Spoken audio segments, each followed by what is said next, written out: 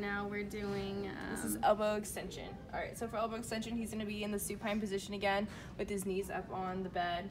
Um, the stable arm's gonna be in line at the, the fulcrum's gonna be at the lateral epicondyle, and the stable arm's gonna be in line with the humerus. And I'm gonna have you go ahead and straighten.